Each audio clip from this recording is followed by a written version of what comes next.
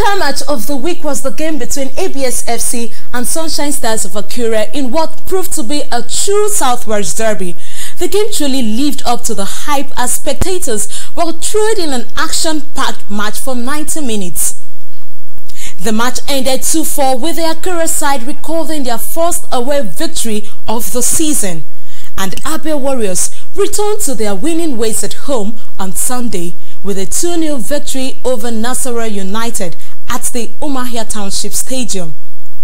An on goal by Nasarawa United captain Emmanuel Makama in the first half, coupled with a penalty spot kick from Sunday Adetunji, helped the home side accumulate another point, which takes them to the mid-table.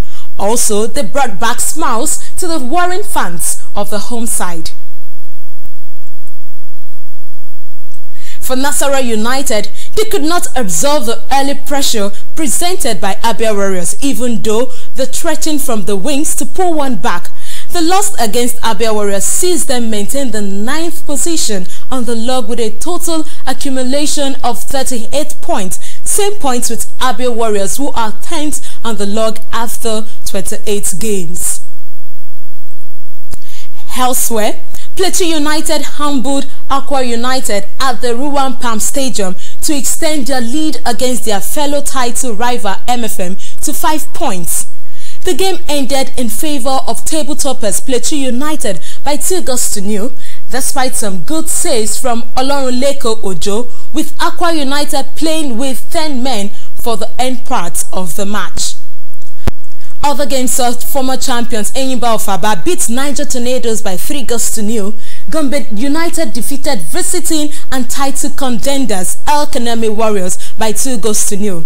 Kano Pillars lost away from home against Wikki Tourists by 2-0. The match between Katsina United and Lobi Stars ended in favor of the home side Katsina by 2 goals to 1.